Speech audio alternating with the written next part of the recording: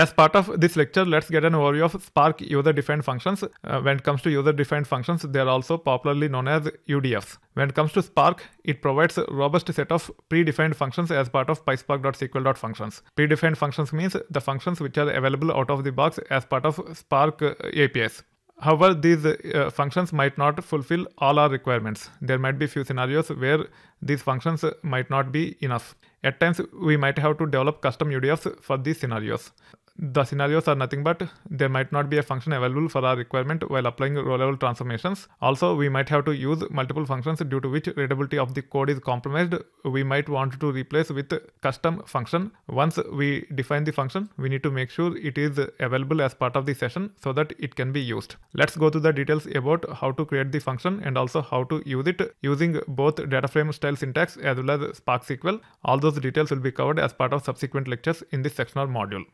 As part of this lecture, let's go to the details about registering Spark user-defined functions. Uh, when it comes to using user-defined functions as part of Spark, here are the steps we need to follow. First, we need to develop a function. As part of that function, we need to have required logic. In this case, we'll be using Python as programming language and we'll be developing a function with required logic.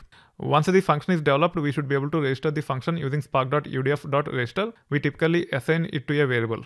The variable will be of type function. Once the variable is created, then it can be used as part of data frame APIs such as select, filter, etc. We will be seeing examples very soon. You will be able to understand what I'm talking about here. Also, when we register the function using uh, spark.udf.register, we register with a name. That name can be used as part of select expression or as part of Spark SQL queries using spark.sql. We'll be seeing examples with respect to this as well. That being said, you should be able to get the details with respect to a function called as register that is available as part of spark.udf by using help like this you can see that it takes two mandatory arguments. The first one is name, second one is function. So this is the name which can be used as part of spark.sql or select expression. The function is the one which will actually be referring to the functions that are developed using underlying programming language. In our case, it is nothing but Python. We can also specify return type. By default, it is none. However, if you want, you can also specify the return type. So let's go to the details about using register to actually register the Python functions and we'll also validate whether they can be uh, invoked both from data frame APIs as well as select queries using spark.sql. Let's go through those details as part of subsequent lectures in this section or module. As part of this lecture, let's go to the details about using Spark UDFs as part of DataFrame APIs. However, before using Spark UDFs as part of DataFrame APIs, first we need to develop the Python function and also we need to register using spark.udf.register. If you review the help on spark.udf.register, it takes two mandatory arguments then one optional argument which is nothing but return type. The mandatory arguments are nothing but the name of the function that is uh, used while developing using Python as programming language. Then the first argument is nothing but the name of the function which we are going to use as part of the Spark SQL. So the Python function which is passed as second argument is accessible as part of Spark SQL using the name which is passed as first argument. Also, we can assign the return value uh, of this register to a variable. We should be able to use it to actually invoke functions using data frame APIs. So let's go to the details so that you understand what I'm talking about here. Let me scroll down. Now let me create data frame by name uh, df. Let's preview the data once the data frame is created. In this case, I'll be developing a function to actually extract the date in the form of YYYMMDD already we have a function called as date underscore format which can be leveraged to achieve it. But in this case i'm just uh, using uh, the same example here to demonstrate. When it comes to python as programming language you should be able to develop the logic like this. In this case i'm using lambda function. I'm not using named function. When it comes to order date you can see that the first 10 characters have year hyphen month hyphen day. Uh, we are using d of colon 10 which will give us first 10 characters then we are actually replacing hyphens with uh, empty string then it will actually give us 4 digit year followed by 2 digit month followed by 2 digit day of month as it is in the form of number we should be able to pass it to int so that it is typecasted to number so this is the lambda function which is being used here to define UDF. In this case, the UDF name is nothing but date underscore convert. This can be leveraged as part of Spark SQL. Now this function call returns something that return value is assigned to DC. You can actually check the type of DC here. It is nothing but function. Using this, we should be able to invoke as part of select group by filter, etc. You can see here, in this case, I am using as part of select. You can see the output as per the expectation. So the Python function, which is nothing but this lambda function, is now available as Spark function by name DC. You can see DC here, it is working as per the expectations. You can see the output. Also, we should be able to leverage this as part of filter. You can see I'm actually filtering based on DC of order date double equal to 2014 0101. You can actually see the output. We are only seeing data related to 2014 0101. You can also use this as part of group by. You can see here we are actually grouping the data by order date where the date is converted to 8 digit number using the DC function. You can actually review the output here uh, using group by we are able to group the data based on the uh, derived logic using this function and we are able to see the count corresponding to each of those dates. This is how you should be able to use Python function as Spark function by registering it using spark.udf.register. Now we should be able to use these functions even as part of Spark SQL queries. Let's go to the details about how to use these functions as part of the Spark SQL queries as part of the next lecture. At this time, we are going to the details related to user-defined functions in Spark. In the previous lecture, we have seen how to use Spark user-defined functions as part of DataFrame APIs. Now let's go to the details about using Spark user-defined functions as part of Spark SQL. Most of the logic is same as what we have seen earlier. You can see that we are registering a lambda function, which is nothing but a Python-based lambda function. Using this name, date underscore convert can be used now as part of Spark SQL once this is executed. If you review the logic, we are actually getting the order date in the form of 4 digit year followed by 2 digit month followed by 2 digit day of month. We are registering this logic using this name. We should be able to use this as part of Spark SQL. Also, this entire logic is being assigned to DC, which means DC will be of type function. Using this, we should be able to invoke leveraging Spark data frame APIs. That being said, for now, let's focus on how to use the UDF as part of Spark SQL. To use this as part of Spark SQL, you need to keep this name in mind. Now we are actually creating a data frame by name df. As part of select expression, you should be able to invoke date underscore convert and you should be able to pass the order underscore date, which actually have the date in it. Then it will actually apply this logic on top of it and you should be able to review the data.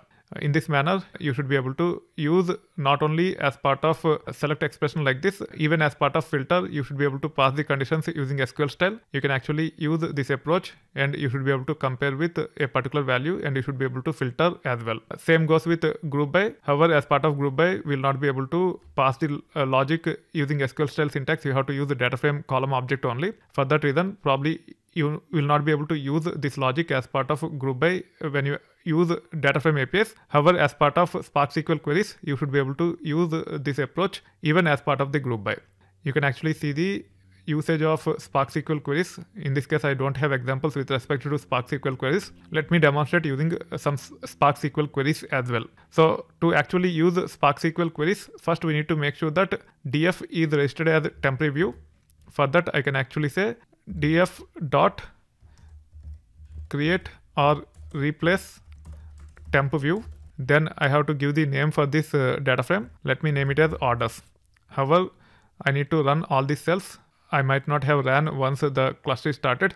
Let me click on this to run all the cells. By the end of the execution, we'll be having a temporary view by name orders. We should be able to develop queries using orders as table name or view name. Now I should be able to say spark.sql.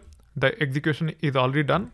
I should be able to specify the query in triple quotes like this. This will facilitate me to actually develop the query in multiple lines. Now I can say select o dot star comma date underscore convert then order date let me say order date as int let me provide alias like this now I should be able to say from orders I should be able to review the data by saying show like this.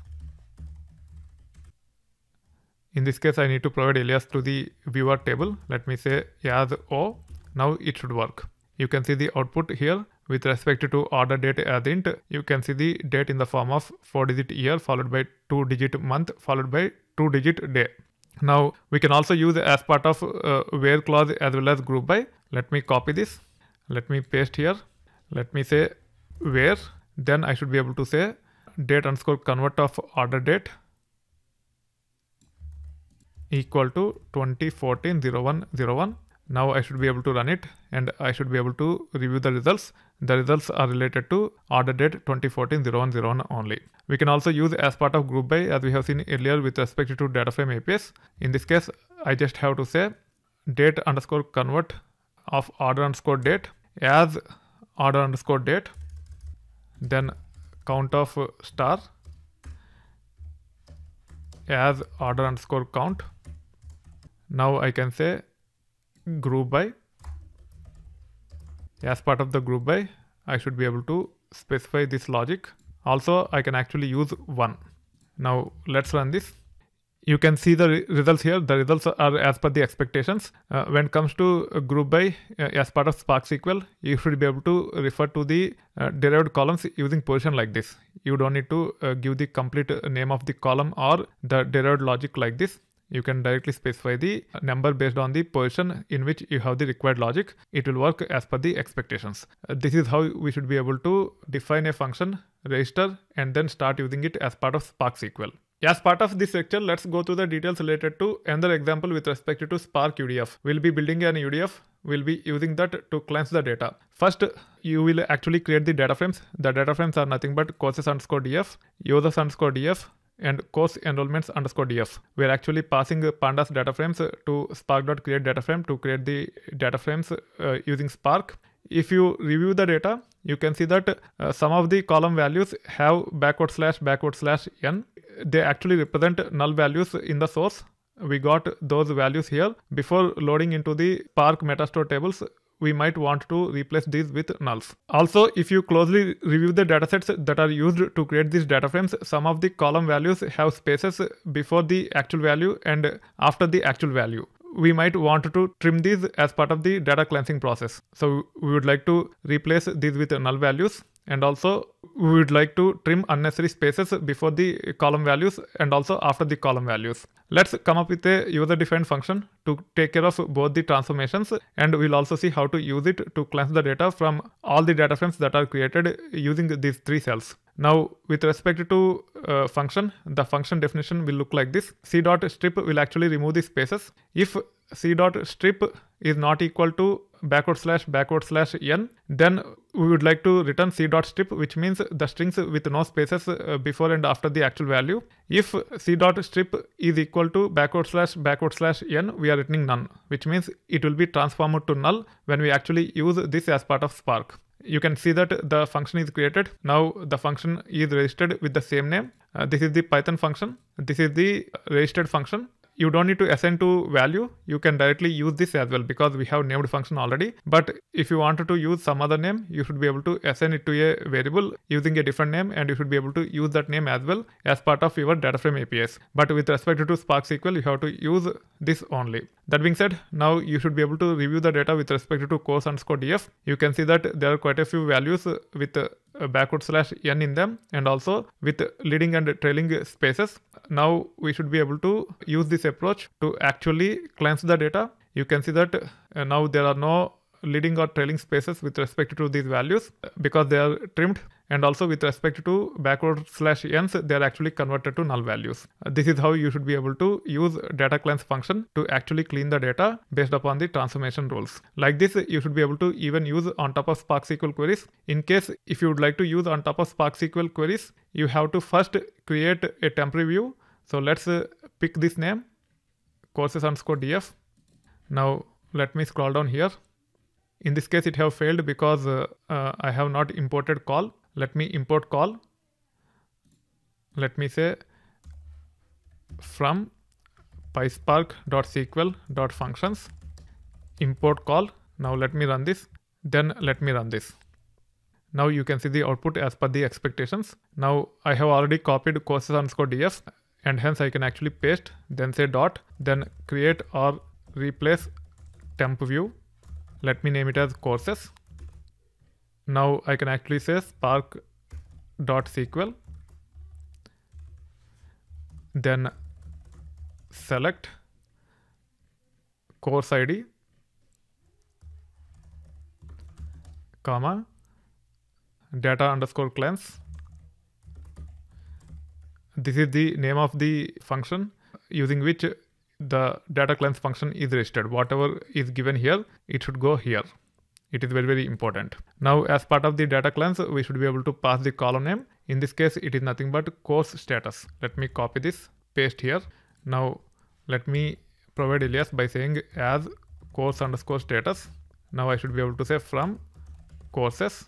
Now I can actually say show like this to preview the data.